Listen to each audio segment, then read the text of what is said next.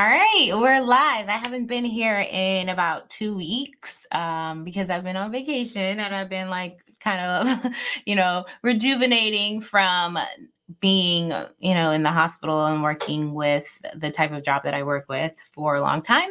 But I'm doing well now. I'm back. I'm still a little tired, a little kind of jet lagged. Um, right after I came back from like my overseas trip, I went to a friend's wedding. Um, well, I worked and then I went to a friend's wedding and then I came back like literally the next day. So it's been kind of crazy. But that's not here nor there. Um, I'm here with you guys today so that we can do uh, a review of LIU's PA program. So I don't remember doing any of the programs in New York so far. Uh, I think this will be the first one, um, but it's one of the top PA programs in New York, from what I understand. So, if you are interested in any of these East Coast schools, uh, this would be a good one to look at. So, let's get to it. I don't want to like drag this along. Um, I'm going to just share my screen. I hope you guys are doing well. And I hope you guys are enjoying your holiday. All right, let's go to LIU. So hopefully that screen share is up. Let me see. Yeah, great. All right, so this is LIU's um, page. Like when you come inside, you guys, I have like an allergy or something that's going on. It's always with my left nostril. So if I sound a little like nasal, if my eyes are a little watery, that's why. Um, but this is their main page, LIU Brooklyn. Uh, it says physician assistant studies, and LIU stands for Long Island University, okay? Um, but it is in Brooklyn. Uh, so they have a master's of science in physician assistant studies. Um, I like how they have this kind of laid out here because everything is kind of the main things are right on the front of the page. So accreditation status, we see it right here, accreditation continued, right?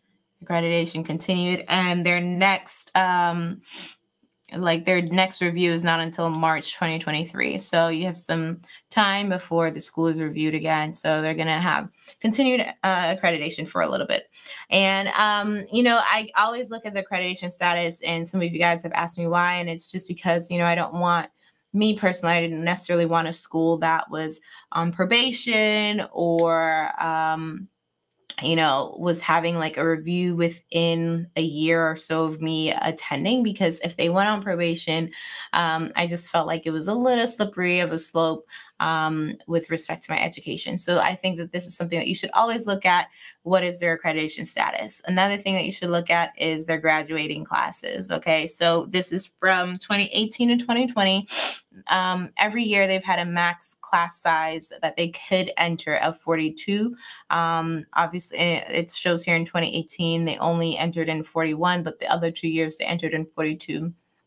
Um, but the graduates, look at these graduates. And so it's it's consistently gotten better, which is a good thing. But the initial um, 2018 had 35 students of the 41 graduate um, versus 2020, which had 38 of the 42 graduate, uh, which dropped their attrition rate, meaning like the amount of students that they um, lose for various different reasons and then uh, kind of increase their graduation rate. So that is good. Uh, it looks like they are doing something good. Things are getting better. Um, so that's that's good to hear.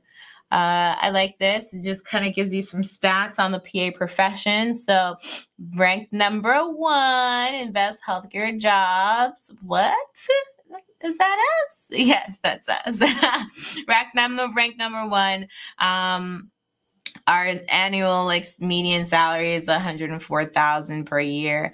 Um, again, that's all based like that's annually and it's a median, but there are people making a whole lot more and there are people making a whole lot less. Well, not like a whole whole lot, but like a good twenty thousand dollars less. So um, you just have to kind of this depends on where you're living and and the kind of specialty that you're getting into. Um, and then this shows you here uh, the various different rotations that they have at their particular program, which is mainly what they have at all PA schools. So if you're not if you're not aware of that, it's typically surgery, emergency medicine, family medicine, internal medicine, pediatrics, um, women's health, uh, OBGYN, and um, behavioral health medicine. Um, those are kind of the core. All right, so we already did accreditation. Let's go head over here to mission.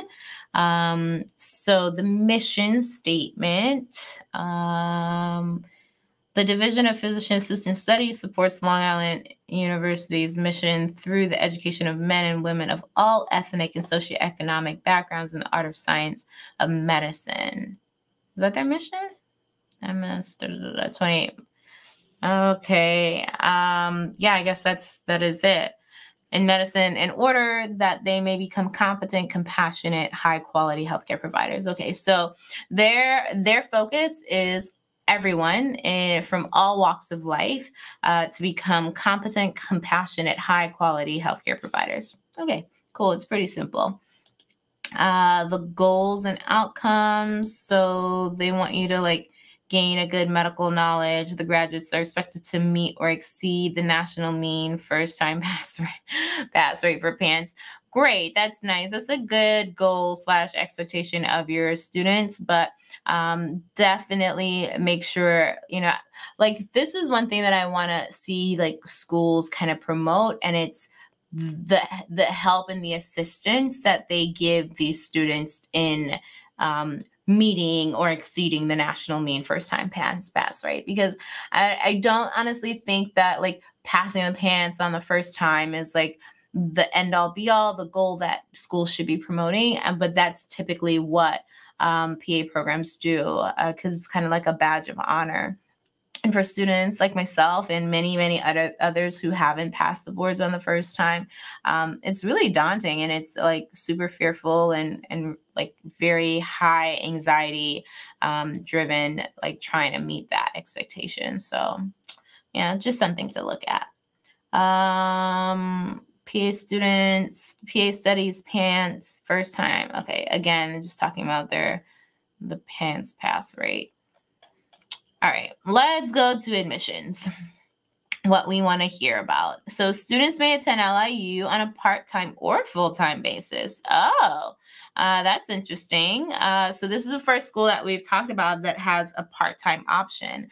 Um, not many programs have that. And so, I think that it's kind of cool uh, for the person that may not be able to be uh, full time, that you have the option to be part time or full time. Okay, um, direct care experience. So complete a minimum of 500 hours of direct care experience. Um, of these 500, 400 must be completed by the time of your CASPA application submission. So you can have 100 hours outstanding. Um, so I guess like it's, uh, I think the minimum like i don't know how they'll gauge this so i guess really because really and truly kind of like the minimum is 400 and not really 500 if you can have 100 outstanding but um it says that by the time of completion um like matriculation into the program you need to have had all 500 hours so um that's also like a good a nice little like pass for students um, so there, these they list out direct patient care experience, and you guys know I love this because like there's no guessing, right? You know, there's no like, oh, I'm a CNA, like does that count? Yes, it counts. Certified nurse assistant, like this counts towards your direct patient care experience. You know, like so I I love this. I love when schools do this. Um, it just makes it so much easier on the pre-PA applicant uh, to know exactly what will be accepted. Like being a scribe, okay? Academics. Obtain at least a baccalaureate degree from an accredited college or university no later than the time of matriculation. Uh, you need to maintain a GPA of 3.0, um, demonstrate acceptable acceptance, uh, all such courses. So you have to get the prerequisite courses, and nothing could be in those prerequisite courses can be lower than a C. Um, and then here, these are like the big dog things that they pull out. So one year of general biology with lab, same with general chemistry. Um, then you have to have one semester of human anatomy with lab, and then one semester of human physiology with or without lab. So you can probably take like the anatomy and physiology class in one, I would say. Um, and just have one semester of that and that should would that be able to kind of um, knock out these two courses? Maybe just take like a full year of anatomy and physiology and that will for sure will knock them out. Um, but you can always call the school uh, and talk to one of their admissions counselors to see if one course of like one semester course of anatomy and physiology would knock these both of these requirements out um, microbiology and statistics. These are their like main prerequisite requirements. Um, and these are the ones that kind of vary, you guys, like from school to school. So it's definitely important that you pay attention to that. Uh, okay, so their application is through CASPA, which we know like I'm only doing CASPA participating programs, unless you ask me to do a program that's not participating with CASPA, and I, I will do that for you all. But um, we're going through the CASPA list first. Um, their minimum GPA, both science and overall, is a 3.0. They have a seat deposit of $500 um, if you accepted into the program. Is it non refundable?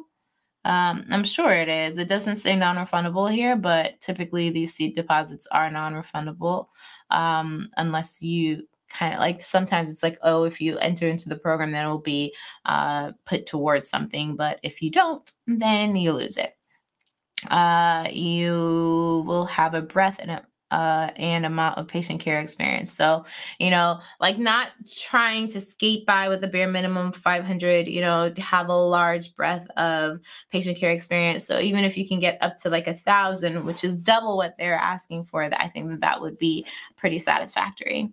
Um, completion of the coursework, completion of the GRE. So they require the GRE. So if you did not want to take the GRE, then this school is not for you. But if you're taking it for another program, then uh, go ahead and apply to this program.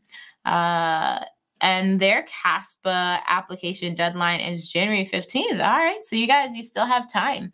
Um, I haven't really reviewed many schools that have a a deadline that hasn't passed yet. So we're here. We're a little bit early. Like what what day is it? It's so you have a month. You're a month away. So if you have like done all the other things, um, you know, get all this stuff in and apply by this Friday, the latest, because it can take anywhere from four to six weeks for CASPA to verify your application. So we want to make sure that you get that in.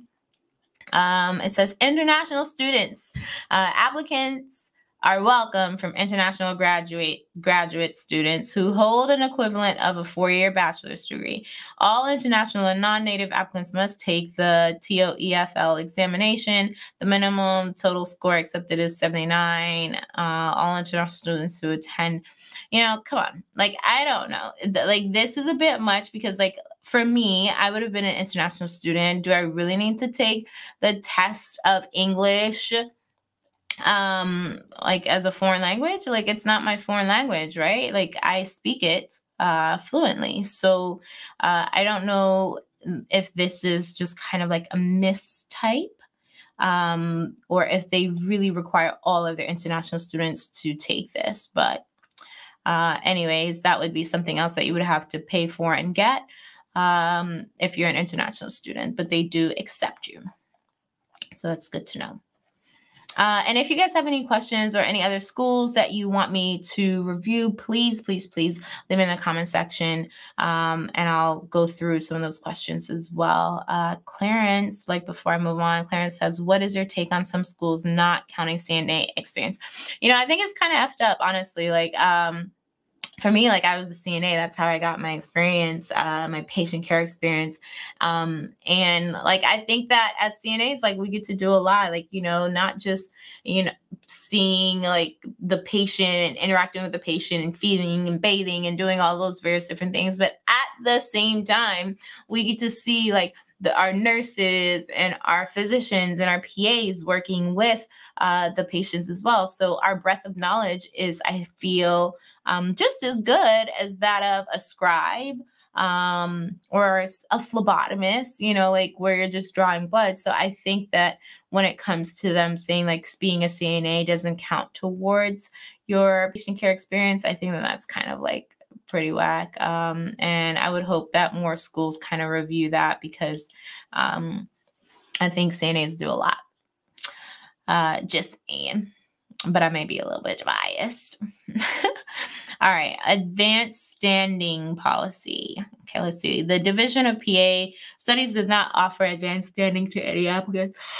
Oh, sorry, guys. Uh, like I said, I'm still a little jet lagged um technical standards.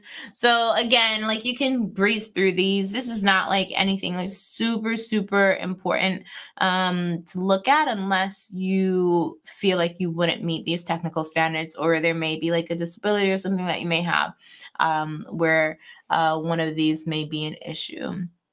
But it's always good to kind of look over it. Health requirements all students entering into the program must complete and submit the health examination slash vaccination form. Um, I had to do that as well. I had to get like a whole physical, get like all of my vaccines updated and things like that, like my booster. Um, and I think uh, when I was going to rotations, I had to get like hep like Hep B, like some of the hepatitis um, vaccinations when I was going into my rotation. So, um, if you're like an anti-vaxxer or something like that, you know, PA school might not be for you um, because you are required to get vaccinations not only to enter into PA school, but to then enter into the hospital and and do your rotations. All right. So they have like a list of all of their various different courses for didactic year. Um, so three semesters of didactic year, which would constitute like your summer, fall, and spring semester. Um, and it shows you all of the courses, which is cool. Let me see. And do they have clinical year? Yep. Here's the clinical year. And it shows you all of um, the courses there. Oh, so you get not only a surgical um, like rotation, you get a surgical elective and they offer three electives in this particular program which is good because there are schools that only offer one and so to have three um, electives it's really cool um, even though it's kind of like already kind of segregated for you in terms of what area of medicine it has to be in there's so many things that you can do in terms of the surgical elective that's not just your general surgery so I like that. Um, and same with your clinical elective. All right, let's look at their employment policy. The LIU program requires employed PA students to report their employment status and job title responsibilities to the PA program director. PA students will not be permitted to work for the LIU PA program in any capacity during their tenure as students in the PA program. Okay, cool. Um, but uh, they're not like saying, no, you can't work. So, and I guess that makes sense because, again, this is a part time program as well as a full time program. So, for students that are doing this part time, which I did not see and like how that option would work. Um, so, that would be something that needs to be kind of like teased out and, and spoken to the program director or the admission counselor about. But if you're doing it part time, then you know you might be working the rest of the time. So you need to let them know that.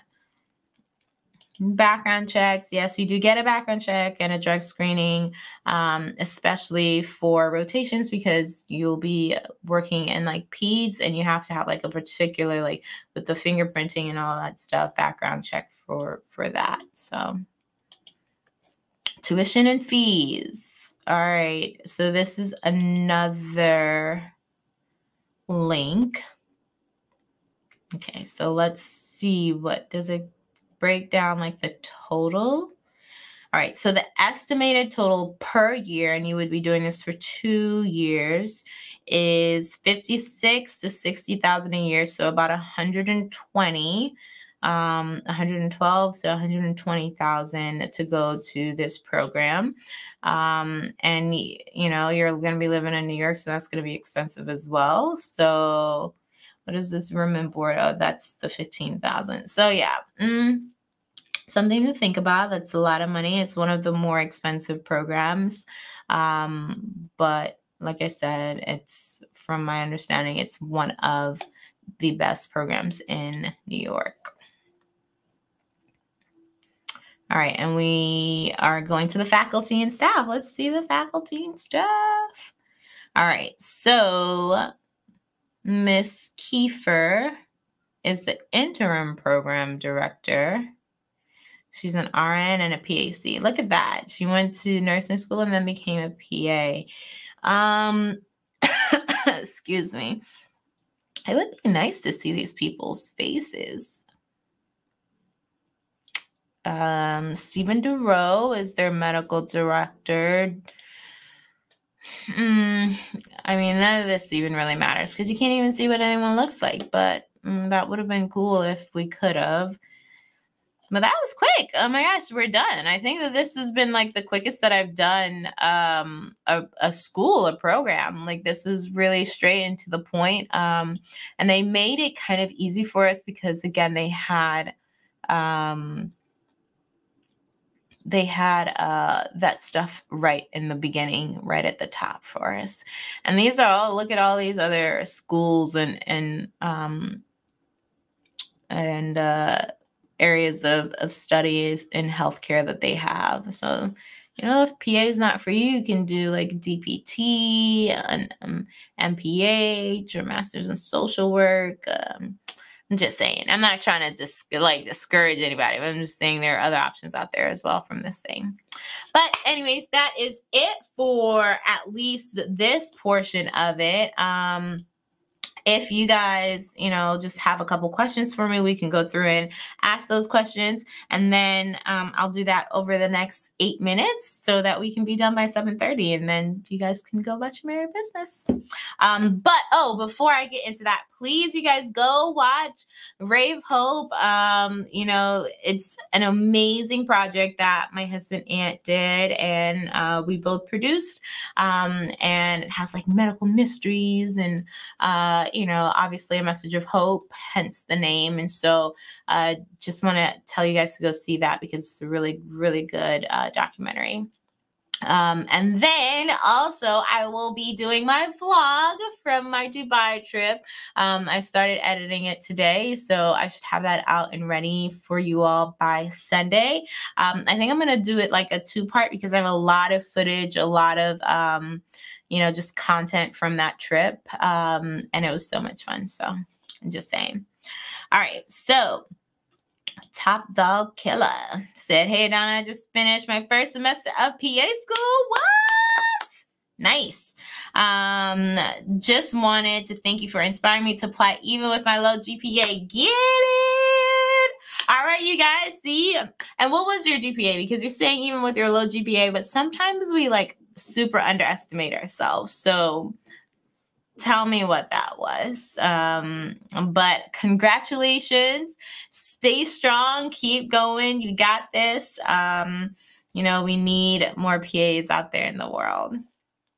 Wow. Okay. So uh, Top Dog said 3.1. And so, yes, um, it's not a low GPA, but it definitely is uh, an average GPA. Um, like that at the 3 3.0 um, minimum GPA mark.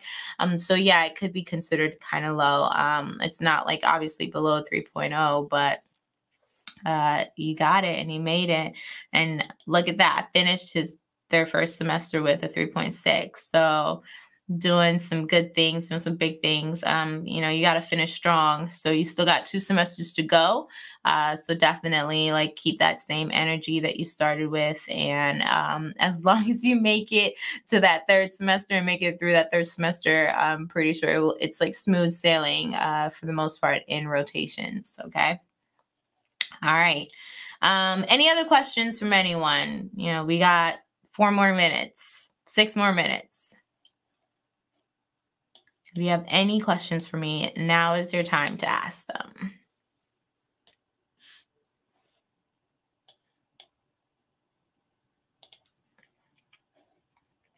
All right. I mean, it doesn't look like anyone has any questions. Um, obviously, this will be up. This video will be up on um, YouTube on the playlist that has all of the PA programs that I'm doing. And, you know, again, I'm sorry that I wasn't able to do the last two just because I was out of the country, but um, I will continue to do these uh, every every week uh, is the goal every Tuesday at 7 p.m. Um, unless something you know happens. All right. Uh, Peter has a question. Peter says, Will PA schools take into account me being an athlete and RA through college? I have a 3.5 with one or more semesters to go, and I was told my GPA was low. So a 3.5 is, is not a low GPA by any means. Um, you know, like anything below a 3.0 is a low GPA, and then some might even consider like top dogs at um, like a 3.1 or a 3.0 uh, a low GPA just because it is like the bare minimum, right? You're the minimum GPA requirement for a lot of programs is a 3.0. So if you have a 3.5, like you're right there, you're you know, slightly above some of the average GPAs of like 3.3, 3.4. Um, so I, I don't think that that's something that you should really be like super concerned about. Definitely continue on in school and finish it strong. You know, try to boost that 3.5 up as much as you can. Maybe you might be able to get it to like a 3.6 or a 3.57 or something like that. Um, and then apply with all of your extracurriculars. Um, you know, PA schools don't really care too much about like the athlete RA stuff, but definitely if you have um, patient care experience hours that are, you know, 700, 1,000 hours and above, that will look good as well. Okay um, says, I feel like it could have been higher if I were just a student. Um, and I mean, if you're asked, if you, if a school that you're applying to, Peter says, you know, like, hey, you know, so you're, you have an average or a low GPA, um, you know, in comparison to the students that we typically, um, allow into our program, you know, why would you say that is? Then you can just like use that exact example. You can say hey you know um, i maintain this above average gpa um, and continue to be on like honor roll or whatever dean's list i don't remember what the various different areas are called. Um, while not only being an athlete but an RA holding down a job during um, undergrad. Um, but I still kept my grades up because I knew that this was the path for me. So just you can always spin that into a positive. So um, hopefully that helps you.